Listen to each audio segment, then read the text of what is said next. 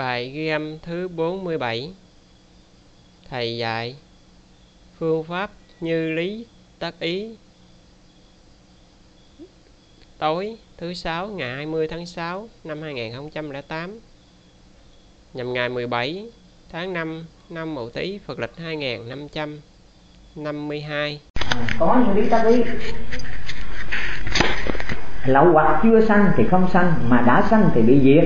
Lấy câu đó rồi bắt đầu pháp như lý tác ý như thế nào là cái cái câu mình chọn một cái câu cho hợp đúng vào cái đối tượng mà mình muốn diệt nó, thì mình tác ý câu đó ra. Thì đó là dùng pháp như lý tác ý. Do đó thì bây giờ thầy dạy cho mấy con cái phương pháp như lý tác ý. Khi mà dùng cái ý thức mà tác ý như vậy, nó trở thành cái ý thức lực, cái lực ý thức. Cho nên không diệt ý thức, mà sử dụng ý thức. Ý làm chủ, ý tạo tác, ý dẫn đầu các pháp trong kinh pháp cú đức phật dạy cái điều đó rất rõ mà. Cho nên chúng ta lấy cái ý mà để làm chủ, dẫn, để làm chủ được sự sống chết. Bây giờ ví dụ như thầy, bây giờ thầy muốn chết hồi nào chết, muốn sống hồi nào sống, thì thầy cũng lấy ý thức của thầy. Chứ thầy có lấy cái gì đâu. Cũng cái ý thức này. Mà giờ thầy muốn cái thân này phải chết bỏ đi thì thầy bảo phải tịnh chỉ hơi thở. Thì lúc bây giờ thầy muốn để mà thực hiện cái hơi thở ngưng, thì cái tứ thần túc thầy đã tu tập có thì nó nó hoạt động nó làm cho cái hơi thở thầy ngưng để nhập vào tứ thiền. Cho nên cái hơi thở thầy ngưng mà thầy thấy rất an trú an lạc ở trong cái định đó.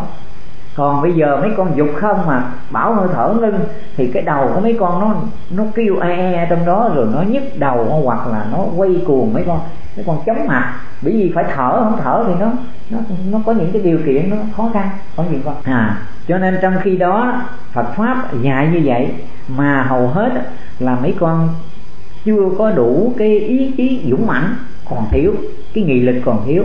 Một cái người mà tin Phật pháp rồi, ôm chặt pháp, tâm bất động thanh thản, an lạc vô sự. Đó là cái chân lý thứ ba, cái chân lý thứ ba, cái diệt đế đó khổ đế, thì đó là mọi người.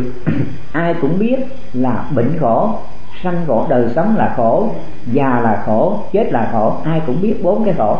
Không có người nào không biết gọi là khổ. Nguyên nhân sanh ra đau khổ, đó là lòng ham muốn.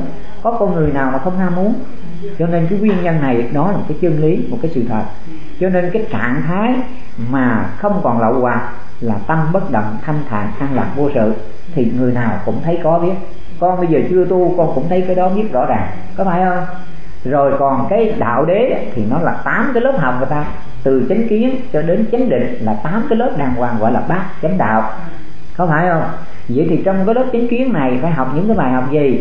Thì bài học đầu tiên để mà chúng ta chánh kiến, để mà chúng ta nhìn vào mọi cái điều kiện, tức là cái nhìn, cái nghe, cái thấy của chúng ta, tức là ngũ căn.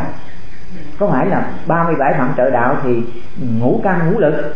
Có phải không? Đó là ngũ căn ngũ lực đầu tiên để mà học. Cho nên vì vậy mà lớp chính kiến dạy chúng ta ở trên các căn để chúng ta nhìn, nghe, thấy, để phân biệt được cái đúng, cái sai, cái phải, gọi là chánh kiến nếu mà không có được cái chánh kiến thì nó sẽ tà kiến, nó sẽ đưa mình đến cái sự đau khổ.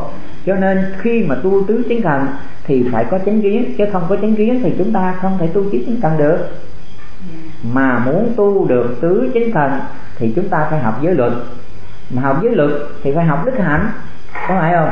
Mà con học đức hạnh con học được đức giới luật đức hạnh, thì mỗi mỗi một cái ác pháp nó tác động đến con thì hoàn toàn con đã thấy biết, hiểu biết liền. Tức là lúc bây giờ con sẽ hoàn toàn là con đuổi những cái niệm nó đi mất hết. Thành ra tâm con sẽ bất động, thanh thản, an lạc, vô sự. Mà tâm bất động, thanh thản là vô sự thì con thấy như thế nào? Có phải đúng là cái trạng thái vô lậu không?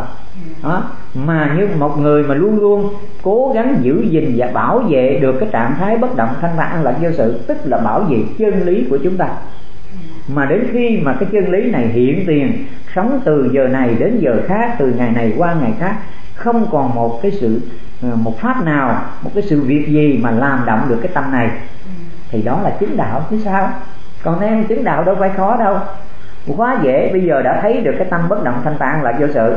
Thì nó chỉ có một phút thôi, ráng một phút, chứ hai phút thì không được.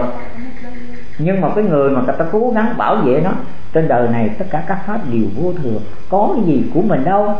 Ngay cả thân này cũng phải của mình. Vậy bỏ xuống hết, không cần. Người ta chửi cũng không giận, người ta nói gì cũng không buồn phiền tất cả đều là nhân quả có gì mà phải bận tâm. Cho nên chỉ có duy nhất là cái tâm bất động thanh thản là vô sự là cái chân lý của mình mà thôi. Nhất định phải bảo vệ cho được. Vậy hàng ngày ngồi chơi mà cái niệm nào mà khởi ra là đuổi liền. Ai ngoài kia nói gì hoàn toàn là tùy thuận nhẫn nhục tùy thuận bằng lòng vui vẻ không giận hờn phiền não hết. Thầy nói mấy con tu trong vòng ba bữa là chứng đạo không có khó khăn gì hết. Dễ dàng. Bởi vì tu không có gì đâu khó khăn. Tâm bất động thanh thản là vô sự ai cũng biết. Chỉ có bây giờ bảo vệ thôi. Mà bảo vệ thì thấy các mắt toàn là đâu